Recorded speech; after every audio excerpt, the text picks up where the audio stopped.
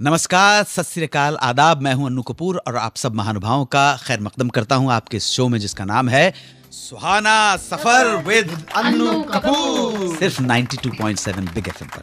ये radio station है India का सबसे पॉपुलर। अजीजमन मैं तहे दिल से आप सभी लिसनर्स का, श्रोताओं का, सभी भाई बहनों का मशकूर हूँ, शुक्रगुजार हूँ, आभारी हूँ कि आपने इस प्रोग्राम को अपने दिल में खास जगह दी है। और आपके दिल में खास जगह की वजह से ये प्रोग्राम नंबर वन का रेडियो शो बन गया है। ये प्रोग्राम जहाँ ये कोशिश की जाती है कि आपको वही किस्से कहानियाँ सुनाऊं जो सच्चे हों, वही इन्फॉर्मेशन दूँ जो सही हो। फिर भी कभी भूल चूक हो जाए तो प्लीज़ मुझे माफ़ कीजिएगा और मुझे बताइएगा ताकि मैं सही रास्ते पर चल सकूँ। आप सबका स्वागत करता हूँ जो लोग 92.7 बिग एफएम पर ये प्रोग्राम सुन रहे हैं और आज नैयर साहब के बारे में बात करेंगे। मेरे मेहरबान दोस्तों आज तो उनका बर्थडे मना रहे हैं। नैयर साहब के बारे में आप सब जानते हैं। म्यूज़िक डायरेक्टर थे। लेकिन जो नहीं जानते हैं वो मैं आपको बताऊँगा। इसके अलावा एक दिन आशा जी आशा भोसले अपने दोनों बच्चों के साथ और तीसरा बच्चा जो अभी पैदा नहीं हुआ था उनको लेकर क्यों लौट आई अपनी माँ के घर? साथ साथ आज आपको बताऊँगा क्यों great music director OP Nayyar साहब नाराज़ हो गए मोहम्मद रफ़ी से। और उनकी जगह नैयर साहब ने गवाना शुरू कर दिया महेंद्र कपूर को। अब बात great composer great music director OP Nayyar की। Aar Paar mister Mrs 55 CID Tumsa Nahin Dekha, Naya दौर, हावड़ा ब्रिज। उनका म्यूज़िक हमेशा रहेगा। थोड़े से गुस्सेल थे शॉर्ट टेम्पर्ड थे, लोगों के साथ झगड़ा हो जाता था, ऐसा सुना है। लेकिन ये भी जान लीजिए कि ये नेचर में गुस्सा, ये शॉर्ट टेम्पर्ड क्यों आया?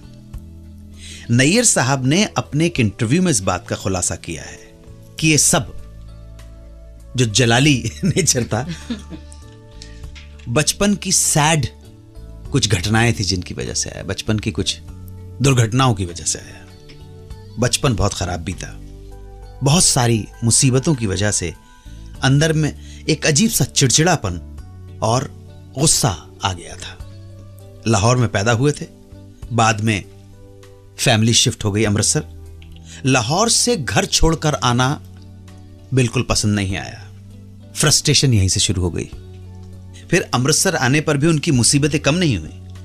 बचपन में ही कई तरह की बीमारियों से घिरे रहे। डेढ़ साल तक गले की तकलीफ़ रही। सांस लेने में दिक्कत आती थी।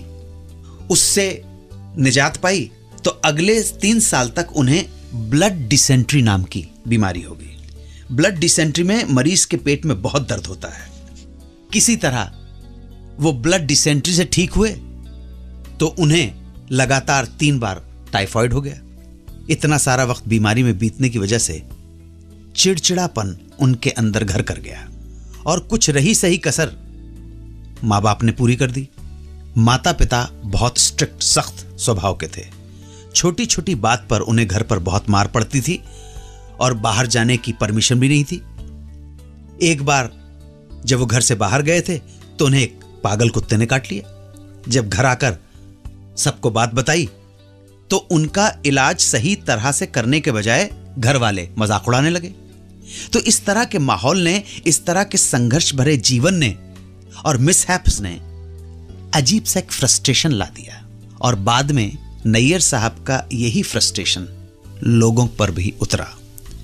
लेकिन नैयर साहब ग्रेट कंपोजर थे। उनको याद करते हुए उन्हीं का एक गीत आपके सामने पेश करने जा रहा हूँ। सोलह साल की उम्र ये वो दौर था जब आशा जी को गाने तो मिल रहे थे, मगर वो ज़्यादातर लो बजट या फिर सेकंड ग्रेड फ़िल्मों के गीत ही माने जाते थे। वही गीत मिल रहे थे। जीवन में स्ट्रगल चल रहा था। और इसी दौरान जीवन में कठिनाइयाँ थी स्ट्रगल था, संघर्ष, मुसीबतें। सडनली आशा जी को प्यार हो गया। प्यार भी किसके साथ हुआ? बड़ी दीदी, यानी कि लता मंगेशकर के सेक्रेटरी से। नाम था गणपत राव भोसले। शादी करने की इच्छा ज़ाहिर की। बहन को बताया, माँ को बताया, परिवार वालों को बताया। परिवार के ना करने के बावजूद, असमहत होने के बावजूद, अपने से बहुत साल, उम्र में कई साल बड़े गणपतराव भोसले से आशा जी ने विवाह कर लिया और भाई बहन माँ को छोड़ के चली गई ससुराल। शादी के समय उनके पति की कमाई सिर्फ़ सौ रुपए थी। पतिदेव आशा के गाने के खिलाफ तो नहीं थे, पर थोड़े से पुराने विचारों के आदमी थे। और आशा के सास ससुर भी पुराने कंजर्वेटिव ख्यालों के आदमी थे। इसलिए कहीं ना कहीं उनके गाने को लेकर ससुराल में भी विरोध होना शुरू हो गया था। ऊपर से आर्थिक परेशानी, परिवार का विरोध, इन सब हालातों की वजह से आशा जी के जीवन में पर्सनल और प्रोफेशनल दोनों ही एंड पे संघर्ष शुरू हो गया। परिवार के विरोध के बावजूद आशा जी ने अपने गाने के सपने को, शौक को मरने नहीं दिया।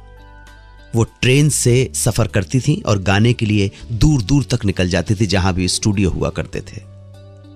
और जो भी ऑफ़र मिलता, किसी भी ग्रेड की फ़िल्म में ऑफ़र मिलता, घर तो चलाना था। उन्नीस में निर्देशक बिमल रॉय ने आशा जी को फ़िल्म परिणीता में संगीतकार अरुण कुमार के साथ गाने का मौका दिया। इसके बाद राज कपूर ने उन्नीस सौ चौवन में फ़िल्म बूट पॉलिश में मोहम्मद रफी के साथ गाने के लिए साइन किया। गाने के बोल थे, नन्हे मुन्ने बच्चे, तेरी मुट्ठी में क्या है? और गाना हो गया पॉपुलर। उसके बाद उसके बाद धूम केतु की तरह एक व्यक्ति, महान व्यक्ति, आशा जी के जीवन में आया और इस महान व्यक्ति ने उनकी प्रतिभा को सही रूप में समझा। उस व्यक्ति का नाम था ओपी नैयर। नैयर साहब ने आशा जी के अंदर मौजूद ग्रेटनेस को समझा और 1956 की फ़िल्म सीआईडी में गाने का मौका दिया। उसी समय एक और अवसर मिला। बी आर चोपड़ा की फ़िल्म नया दौर में। यह फ़िल्म उन्नीस सौ सत्तावन में रिलीज़ हुई थी। Music OP Nayyar. आशा जी, अपना जो पहला ब्रेक है, उसका क्रेडिट देती हैं बी आर चोपड़ा को।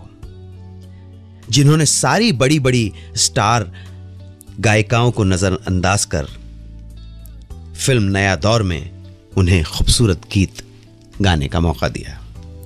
ओपी नैयर जी के सवाल पे वो कहती है, उनके पास दो ही ऑप्शन थे। या तो वो मेरी बहन लता जी से गवाते या फिर मुझसे। लता जी की उनके साथ जमती नहीं थी और उनकी मुश्किल धुने, चाहे वो पिया पिया ना लागे मोरा जिया हो या फिर जाइए आप कहाँ जाएँगे, ये नज़र लौट के फिर आएगी। इनमें जो हरकत थी वो किसी और के बस की बात नहीं थी और उनके पास कोई विकल्प नहीं था मेरे अलावा। आशा जी ने अपनी गायकी अपने अंदाज और वर्सिटैलिटी की वजह से खुद को उन सबसे अलग खड़ा कर दिया अपने आप को। उन सबसे अलग जुदा मुकाम बनाया।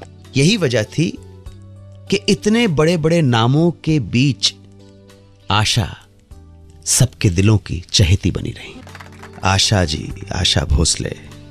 बी आर चोपड़ा की फ़िल्म नया दौर से उन्हें मिली रियल सक्सेस वो मानती हैं कि उन, उनकी सक्सेस का क्रेडिट ये जो टर्निंग पॉइंट है जो एक बिग लीप है ब्रेक है वो बी आर चोपड़ा की फ़िल्म नया दौर से उन्हें हासिल हुआ।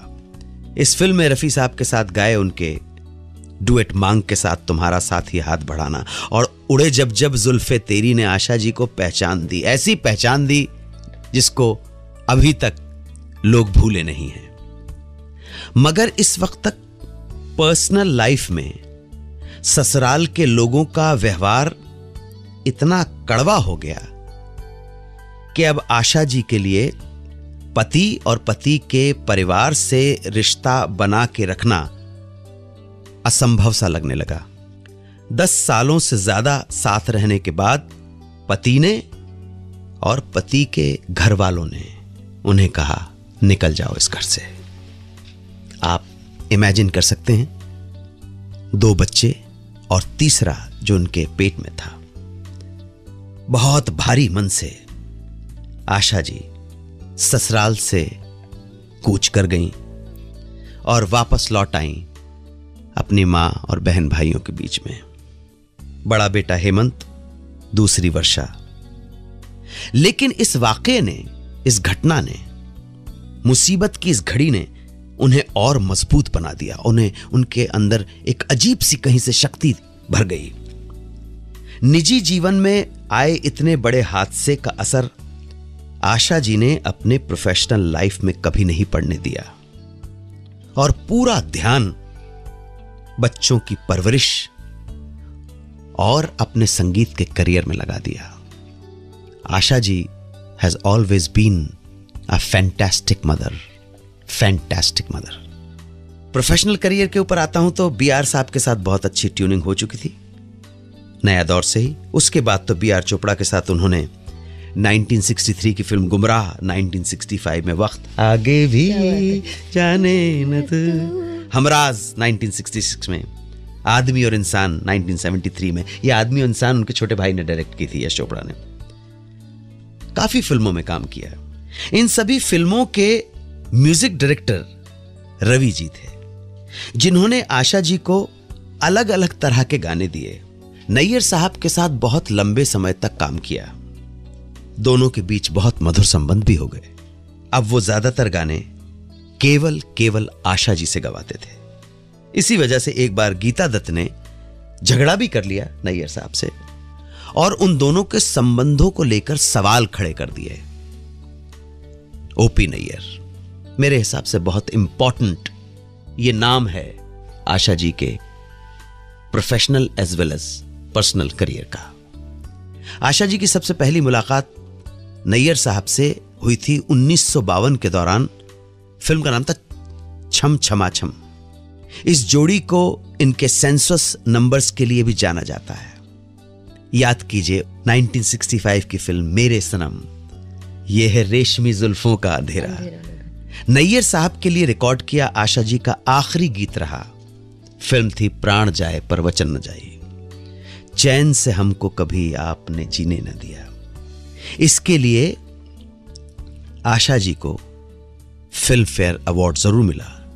लेकिन इसके बाद कुछ कारणों से ओपी नैयर और आशा भोसले के रास्ते अलग हो गए।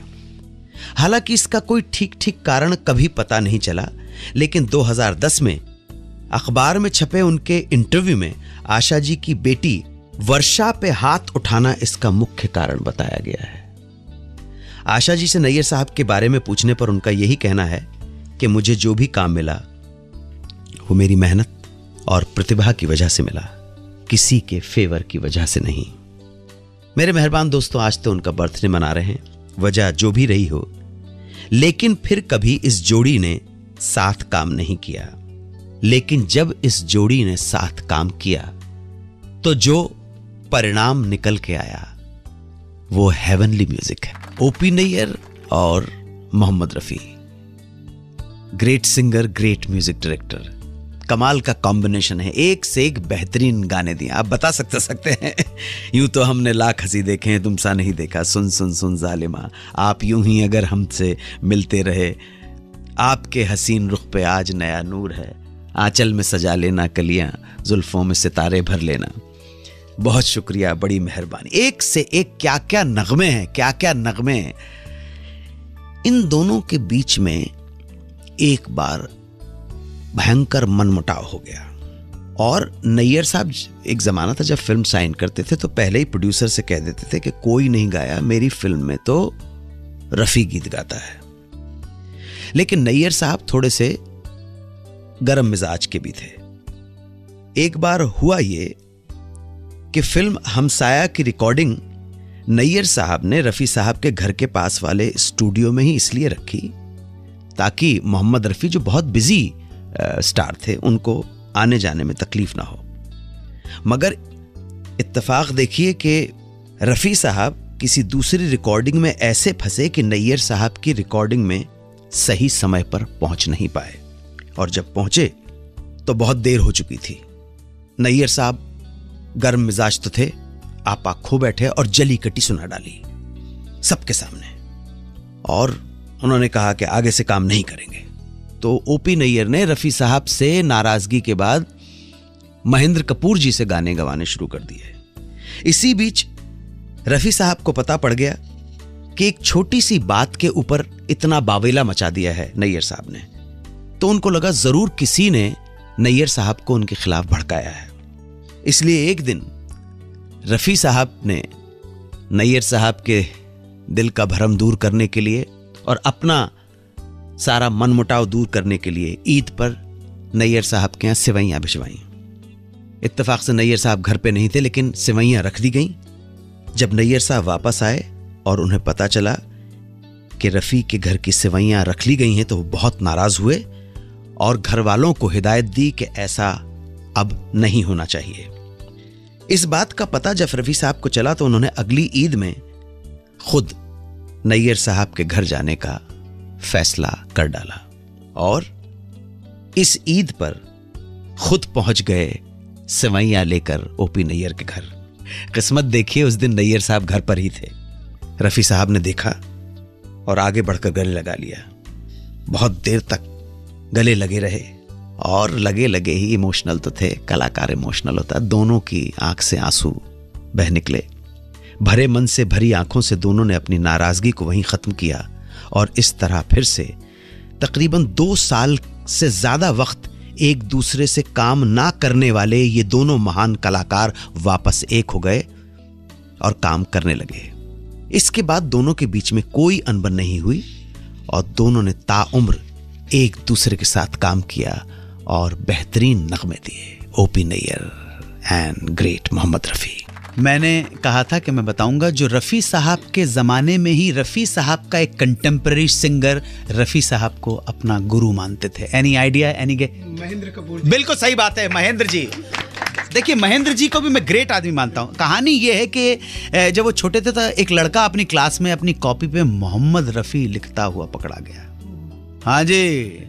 गुरु जी ने टीचर जी ने पिटाई कर दी। पर जब इस लड़के के दोस्त ने इस लड़के की रफी साहब के लिए दीवानगी देखी तो वो किसी ना किसी तरह अरेंज करके इस लड़के को रफी साहब के घर ले गया। रफी साहब इस लड़के से मिले और लड़के के काफ़ी रिक्वेस्ट के बाद रफी साहब ने इस लड़के को अपना शागिर्द बना लिया। और उसे गाने के साथ साथ हारमोनियम बजाना भी सिखाया। इस लड़के को अपने साथ स्टूडियो ले जाते हैं। हर चीज़ की तालीम दी। आगे चल के ये लड़का रफी साहब के साथ ही सिंगर बन गया। उनके रहते हुए ही एस्टैब्लिश सिंगर हो गया। और ये एस्टैब्लिश सिंगर बहुत ही विनम्र, बहुत ही soft spoken another great singer Mahendra Kapoor ji. जोरदार तालियाँ महेंद्र जी। महेंद्र कपूर रफी साहब को क्या मानते थे ये आपको इस किस्से से पता चल जाएगा, जो मैं सुनाने जा रहा हूँ। एक बार महेंद्र कपूर का लंदन में शो था। रफ़ी साहब के दो बेटे लंदन में ही थे। शो देखने आए। रफ़ी साहब के बेटों ने भी महेंद्र कपूर को वही अदब, वही इज़्ज़त, वही रिस्पेक्ट दी, जो उनके फादर प्यार, मोहब्बत महेंद्र जी को दिया करते थे। शो स्टार्ट हुआ इंटरवल के बीच में सिक्योरिटी ने आके महेंद्र कपूर को बताया कि दो यंगस्टर्स आपसे मिलना चाहते हैं। महेंद्र कपूर ने कहा कि, बुलवाइए। और जब ये दो नौजवान आए तो महेंद्र कपूर इन दोनों नौजवानों को देखकर इतने खुश हुए, इतने एक्साइटेड हो गए। उन्होंने ऑर्गेनाइजर से कहा कि, बराए मेहरबानी, आप किसी भी तरह से दो फूलों की मालाएँ बुलवाएँ आप। किसी तरह से दो फूलों की मालाएँ अरेंज की गई। शो दोबारा स्टार्ट हुआ। महेंद्र कपूर जी ने अनाउंस किया कि मेरी कितनी खुशकिस्मती है कि मोहम्मद रफ़ी साहब के मेरे गुरु के दो बेटे यहाँ पे बैठे हुए हैं। मैं चाहता हूँ कि वो दोनों बेटे बरए मेहरबानी स्टेज पे तशरीफ़ लाएँ। रफ़ी साहब के जब दोनों बेटे स्टेज पे पहुँचे तो ग्रेट महेंद्र कपूर ने, ये महेंद्र कपूर का बड़प्पन है। ये महेंद्र कपूर की ग्रेटनेस है कि उन्होंने रफ़ी साहब के दोनों बेटों के पैर छुए। क्या बात है। दोनों बेटों के पैर छुए, दोनों लड़के असमंजस में पड़ गए। उन्होंने कहा, अंकल, हम आपके बेटे जैसे हैं। महेंद्र कपूर ने कहा, नहीं बेटा, आप मेरे गुरु के बेटे हो। गुरु का बेटा गुरु होता है। ये देखिए आप महेंद्र कपूर की ग्रेटनेस देखिएगा। जोरदार तालियाँ मोहम्मद रफी के लिए और जोरदार तालियाँ महेंद्र कपूर के लिए। ओपी नैयर और गुरदत्त, अच्छे दोस्त। दोनों ने साथ साथ बहुत काम किया और ऐसा काम किया जिसे आज तक रसिक श्रोता याद करते हैं। चाहे वो आर पार के गीत हों। याद कीजिए, बाबूजी धीरे चलना, मोहब्बत कर लो, जी कर लो। अरे किसने रोका है? पर बड़े गजब की बात है, इसमें भी धोखा है। कभी आर, कभी पार, लागा तीरे नज़र। या फिर मिस्टर एंड मिसेस 55 उधर तुम हँसी हो इधर दिल जवा है। ठंडी हवा काली घटा आ ही गई झूम के। जाने कहा मेरा जिगर गया जी है? सीआईडी के गाने। ए दिल है मुश्किल जीना यहाँ। बूझ मेरा क्या नाम रे? आँखों या आँखों ही आँखों में इशारा हो गया। ये सब गीत जो मैंने ऐसे ही बताए आपको हिंट दिए ये ऑल टाइम ग्रेट हिट गीत है। 1956 के बाद नैयर साहब और गुरदत्त साहब में किसी बात को लेकर मनमुटाव हो गया और काफ़ी टाइम तक दोनों ने साथ काम नहीं किया। 1966 में एक बार फिर दोनों ने एक साथ काम किया। फ़िल्म का नाम था बहारें, फिर भी आएँगी। इसी दौरान एक बार रात दो बजे। ध्यान रहे कि 1966 की फ़िल्में बहारें, फिर भी आएँगी, लेकिन उससे पहले की घटना है जो मैं बताने आपको जा रहा हूँ। एक बार रात दो बजे नैयर साहब के घर राज कपूर का फ़ोन आया। फ़ोन नैयर साहब की धर्मपत्नी ने उठाया। फ़ोन पे राज कपूर बोले कि आज शाम से ही गुरुदत्त बहुत परेशान है और लगातार रोए चला जा रहा है। ओपी नैयर को भी याद कर रहा है। नैयर से कहो, अभी जाकर फ़ौरन गुरुदत्त से मिल ले। बीवी ने बताया राज कपूर का यह फ़ोन लेट नाइट आया था और नैयर साहब किसी रिकॉर्डिंग में दिन भर थक के लौटे थे। उन्होंने बीबी से कहा कि बोल दो कि मैं सुबह मिलने आ जाऊँगा। फ़ोन रखने के बाद नैयर साहब की पत्नी ने नैयर साहब से कहा कि, देखो, हो सकता है कुछ खास बात है। इसीलिए राज कपूर ने इतनी रात को फ़ोन किया है। आप अभी मिलाओ। नैयर साहब ने कहा, देखो, मुझे एक मीटिंग के सिलसिले में गुरु से मिलने जाना है। बस थोड़े चंद घंटों की बात है, सवेरे होते ही निकल जाऊँगा और मिल लूँगा उससे। इसके बाद नैयर साहब सो गए। और जब सुबह उठकर वो गुरदत्त के घर पहुँचे तो बाहर ही वहाँ उन्हें मिल गए अबरार अलवी। अबरार अलवी का चेहरा उतरा हुआ था और अबरार साहब की आँखें भरी हुई थी। ओपी नैयर को देखने के बाद अबरार साहब ने कहा, ओपी, गुरु चले गए। नैयर साहब बोले, कहाँ चले गए? सवेरे सवेरे। अरे, अभी तो मॉर्निंग की मीटिंग थी हम दोनों की। ये बिना बताए कहाँ चला गया? तब अबरार अलवी साहब ने कहा, गुरुदत्त, हमेशा के लिए हम सबको छोड़ के चला गया। नैयर साहब के पैरों से ज़मीन खिसक गई। और विश्वास ही नहीं हुआ कि गुरुदत्त इस तरह दुनिया को छोड़ के चले जाएँगे। उस दिन का दिन और उसके बाद उनके पूरे जीवन नैयर साहब को उस रात गुरु से नहीं मिल पाने का गम टीसे देता रहा। और वो पूरी ज़िंदगी अपने आप को इसी बात पे कोसते रहे कि क्यों उस रात वो गुरुदत्त से मिलने नहीं पहुँचे। ये किस्मत है जिस पे आपका और हमारा बस नहीं है। आप जिस चीज़ के बारे में सोचते भी नहीं, वो हो जाती है और फिर रह जाता है पूरी ज़िंदगी का पछतावा। ग्रेट गुरुदत्त ग्रेट ओपी दोनों आज हमारे साथ नहीं हैं, लेकिन साथ हैं उनकी कलाकारी, उनकी रचनाएँ, उनका शाहकार।